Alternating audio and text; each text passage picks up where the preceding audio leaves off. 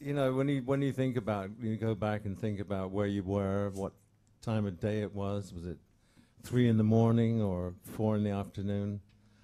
You know, you get a you get a lot of memories that come back. But um, I remember I wrote it for my then girlfriend. I was living in London for a while, and uh, and uh, I wrote the, the you know the title and just a few beginning chords, and uh, I ran into the bedroom and woke her up and said, "I've just got. I think I've got this great new song." And uh, you know, and I was ra- raving on about it, and she said, "Well, what's it called?" And I said, "It's called I Want to Know What Love Is." And uh, she looked at me and said, "What do you mean?" and, uh, it took her a little while to uh, figure out it was. It then became a more of a universal song, and it was all about you know world peace and love and everything, and uh, it's brought a lot of um, joy to a lot of people, a lot of people around the world, and uh, it's been used uh, in tender moments for families have grieved with it, they've married with it, you know, and and and, and I'm just uh, so grateful for for the way it it did that, and it um, and it's a very uh, special experience for me. So. Here's a little version of it, slightly different, but uh, I think you get it.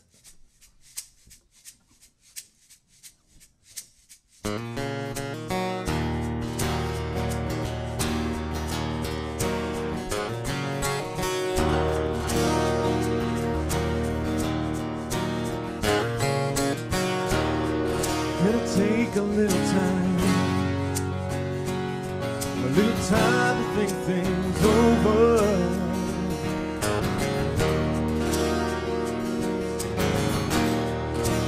read between the lines in case I need it when I'm older.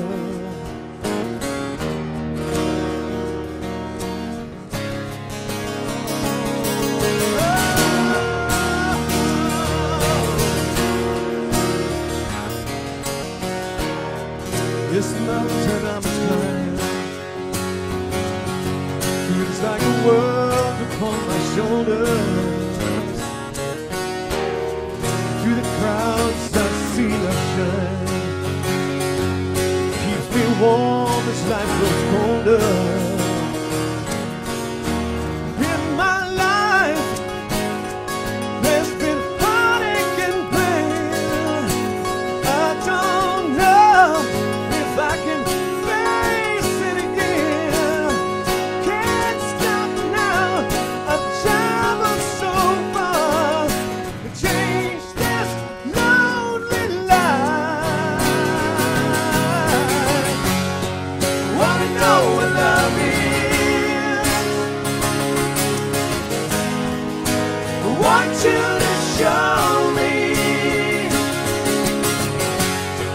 Wanna feel what love is. I know you can show me. Oh.